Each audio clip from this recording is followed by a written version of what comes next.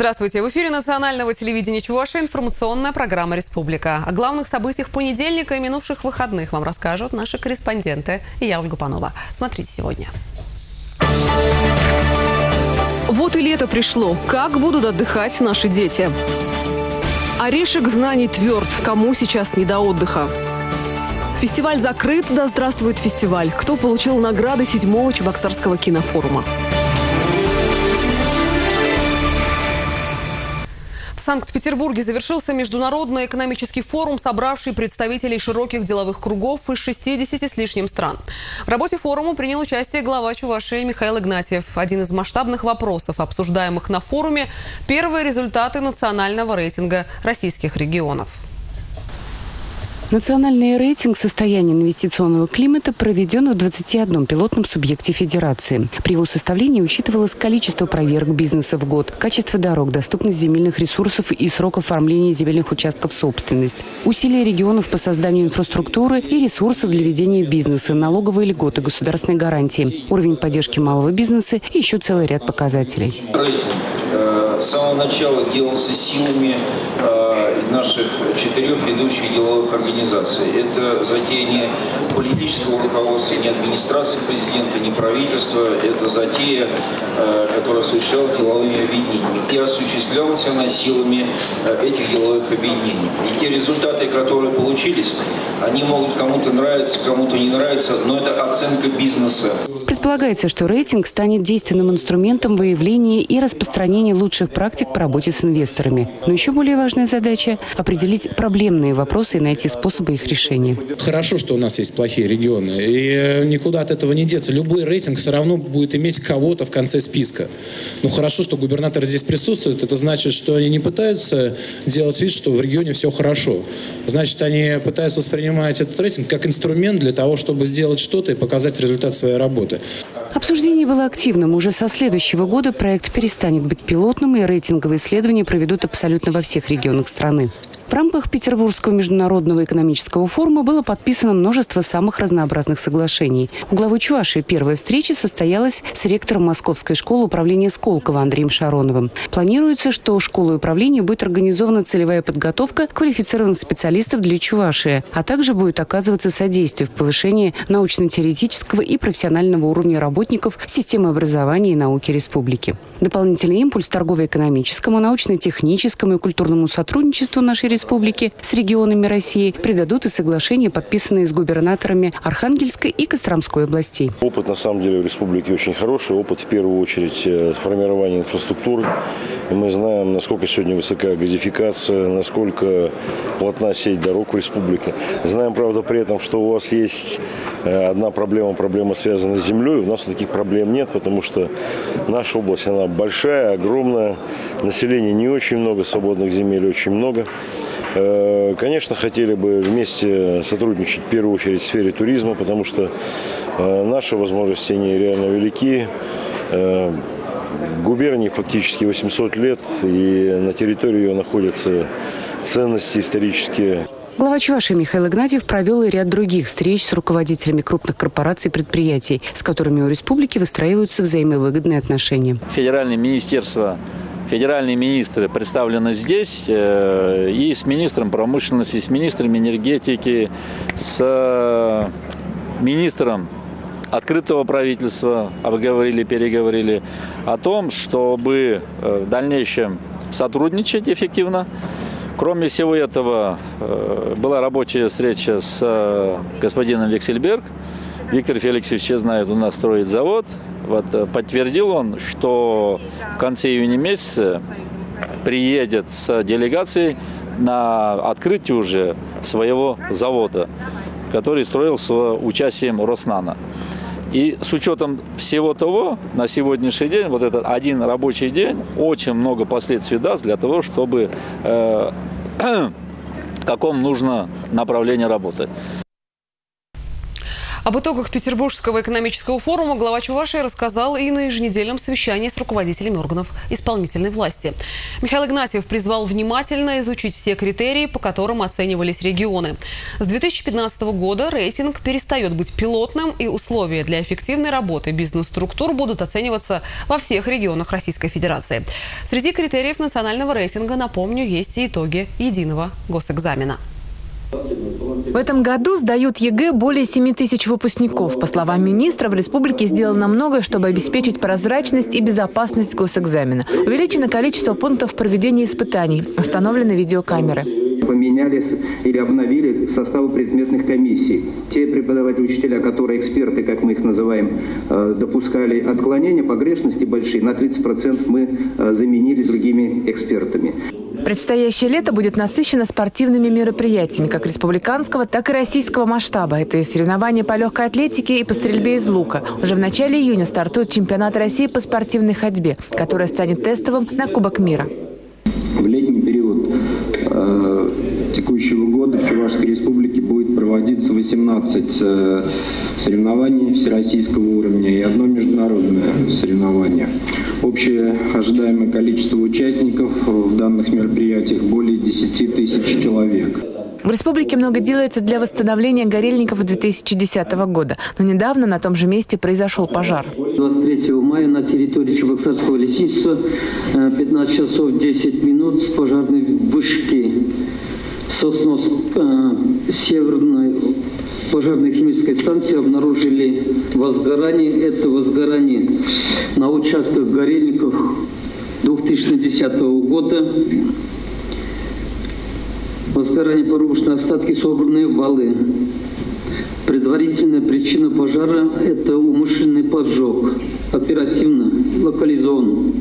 Глава Чуваши напомнил о необходимости строго контролировать ситуацию в лесах. Погода стоит сухая и жаркая, и все посетители лесов должны быть предельно осторожны. Татьяна Молокова, Олеся Русакова, Сергей Рябчиков, Республика. Ни пуха, ни пера сегодня желали российским школьникам. В стране стартовал основной этап единого государственного экзамена. 26 мая по выбору сдавали литературу и географию. Литературу в Чувашии по предварительным данным сдавали 482 одиннадцатиклассника, географию 461. В этот день в республике работало 7 пунктов проведения экзаменов. В Чебоксарах ЕГЭ по географии писали в школе номер 2, по литературе в 48-й школе. Мне нужна литература для того, чтобы поступить на э, лингвиста. Ну, конечно, паника, да, небольшое волнение. Все-таки первый экзамен. Я собралась на журналиста, и мне этот нужен тоже предмет для поступления. Я, конечно, сейчас волнуюсь, но я уверена в своих силах, потому что я основательно готовилась. В плане сдачи самого экзамена в этом году для школьников ничего не изменилось. В то же время на выполнение те же КИМы. Основные изменения не коснулись организации процедуры в целом. Это ну, уже много об этом говорится, да, оборудование камерами каждой аудитории. То, что теперь проход на ППИ осуществляется либо через рамку, либо через ручные металлодетекторы, что особое внимание уделяется тому, чтобы на пункте проведения экзамена не было с мобильными устройствами ни взрослых, ни детей. А, и еще вот важный, наверное, момент теперь не просто использование мобильного телефона или любого другого устройства с выходом в интернет, а сам факт его наличия уже будет являться причиной для того, чтобы ребенок был отстранен от экзамена.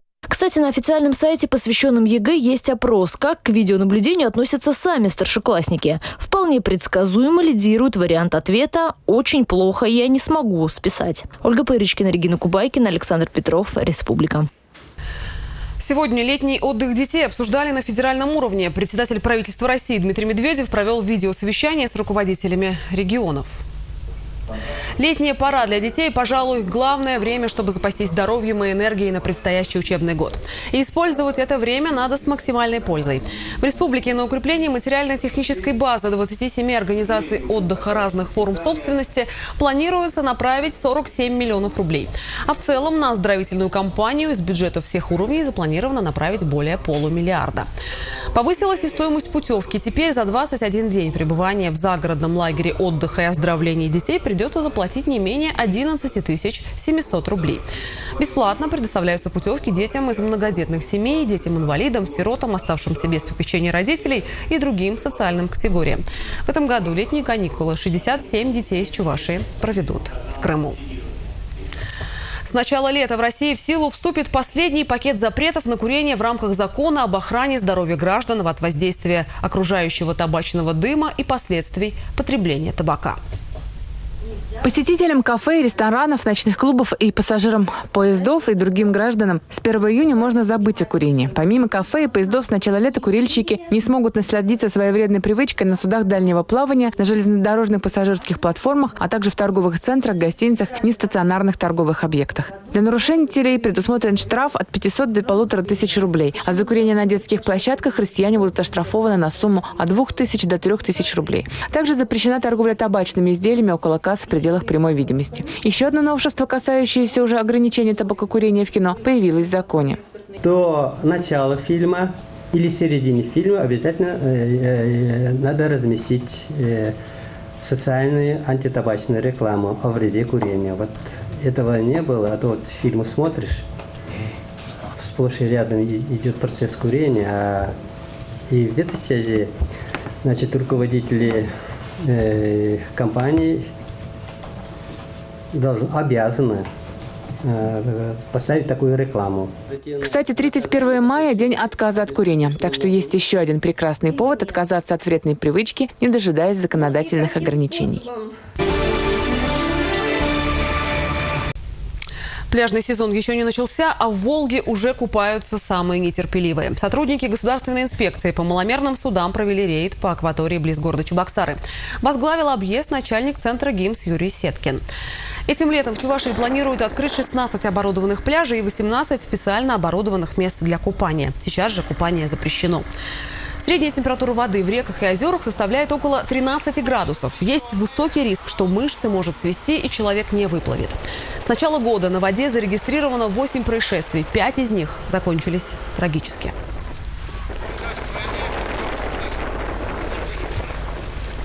Будьте осторожны, берегите свою жизнь и жизнь своих близких. Просьба выйти из воды. Купальный сезон откроется 1 июня. Пляжи города Чебоксары еще не открыты и не готовы к эксплуатации. В Чебоксарах и Новочебоксарске идет объединение травмпунктов. С 1 мая был закрыт травматологический стационар в третьей детской городской больнице. С начала месяца машины скорой помощи всех детей, получивших травмы, доставляют в детскую республиканскую больницу. В течение года сюда будут переведены не только стационары, но и травмпункты, которые сейчас работают в Новочебоксарске и в детском медицинском центре.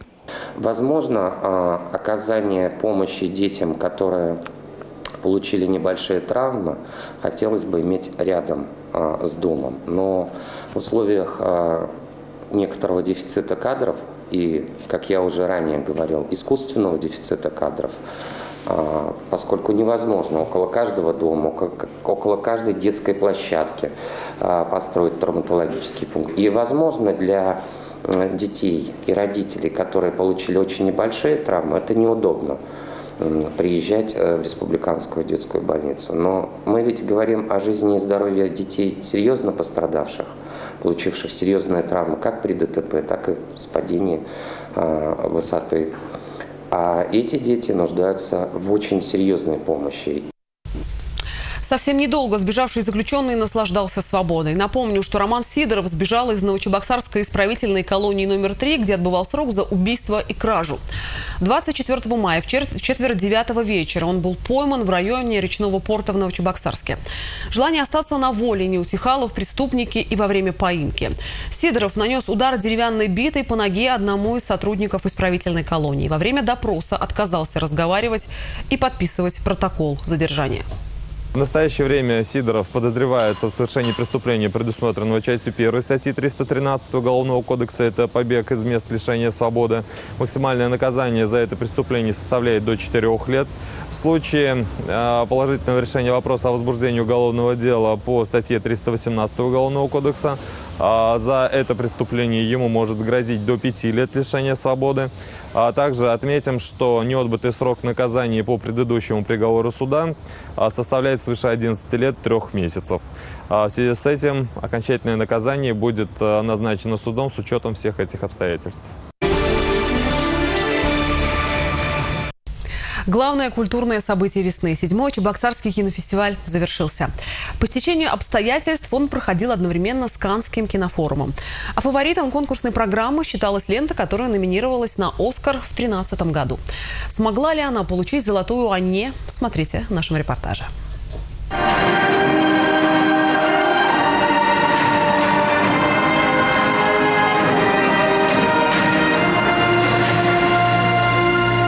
этом году в программе форума было два конкурса – игрового кино и кинематографа малых народов. В Чебоксарах показали 14 кинолет, снятых в Чувашии, Бурятии, Хакасии и даже Якутии. Кстати, картина «Семенчик» якутских кинематографистов получила приз в номинации «Лучший фильм». Среди игровых фильмов лучшим признали картину «Ученик», снятую в Финляндии. Работы финских кинодеятелей участвуют в конкурсной программе каждый год. Это огромная честь э, для всего финляндского кинематографа получить э, приз на Чебоксарском международном кинофестивале. Э, это говорит о том, в том числе, что финское кино, финский кинематограф находится на очень высокой степени как бы своего развития.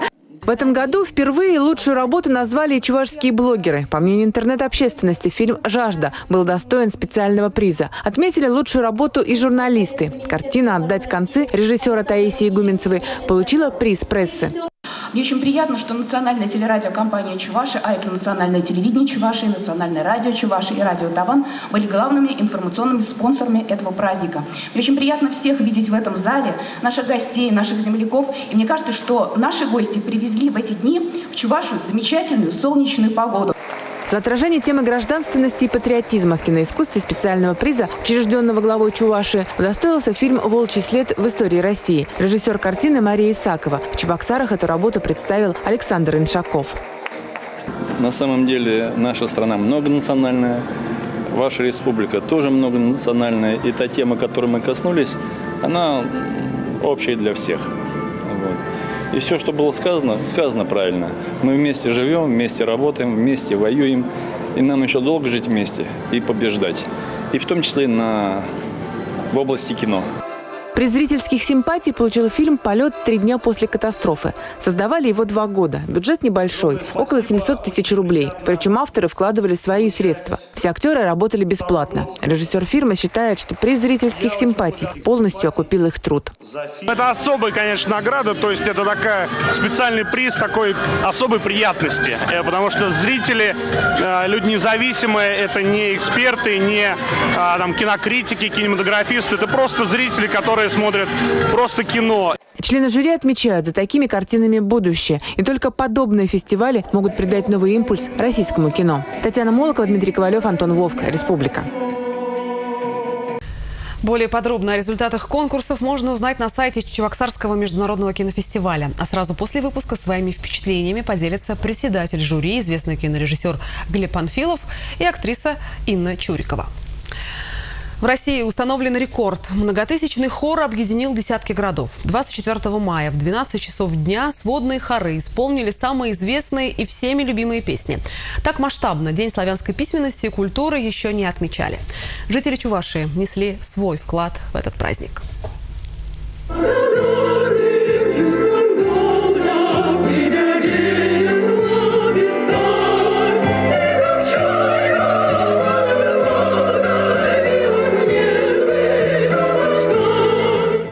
700 человек спели 17 композиций перед монументом матери-покровительницы в День славянской письменности. Праздник святых Кирилла и Мефодия Россия в этом году отметила грандиозным вокальным марафоном. Сегодняшний праздник, вот более 700 участников. Если посмотреть и юные, самые юные, и среднего возраста, юноши есть, и пенсионеры. Приятно было, что э, несколько хоров наших пенсионеров э, города, они здесь участвуют. И это э, здорово, то, что и зрителей много. Хор состоял из коллективов и солистов Чувашской государственной академической симфонической капеллы, Чебоксарской певческой капеллы «Классика», девяти детских хоров, шести хоров ветеранов, камерного мужского хора города Владимир и учебных коллективов.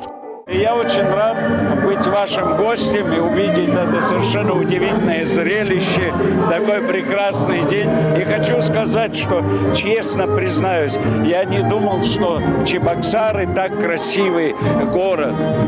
Мне казалось, что это ну, скромный город. Я увидел такую красоту. Чувашии так музыкально отмечать праздник славянской письменности планируют и в дальнейшем. Марина Рябцева, Светлана Аликимова, Антон Вовк, Республика. В транспортном потоке всегда можно заметить этого горожанина. Так называют выходцы корейского автопрома – автомобиль Kia Soul. Сегодня чебоксарцам представили второе поколение этих автомобилей. О том, что изменилось в кроссовере, смотрите прямо сейчас. А я с вами прощаюсь. До встречи в эфире. Автомобиль – это не роскошь и даже не средство передвижения. Это партнер, который позволяет ощущать себя покорителем большого города. Так говорили про творение корейского автопрома Kia Soul, который впервые представили в 2008 году. Ну а сейчас перед чебоксарцами второе поколение этих автомобилей.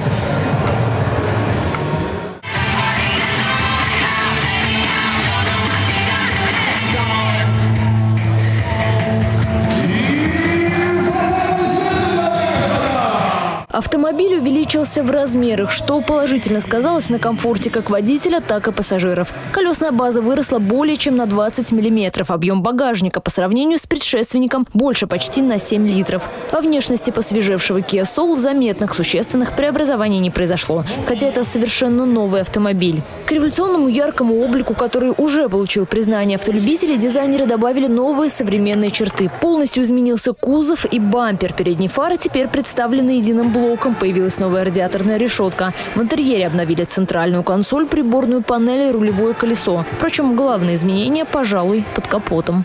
У автомобиля появились две модификации двигателя. Соответственно, это бензиновый вариант и дизельный вариант. В данном случае у нас здесь представлен а, бензиновый вариант с двигателем 1.6, 124 лошадиные силы. Двигатель стал более динамичным, более эластичным, хорошо тянет с самых низов. Также изменилась подвеска, она более комфортная. В плане шумоизоляции автомобиль улучшили. У меня машина Soul.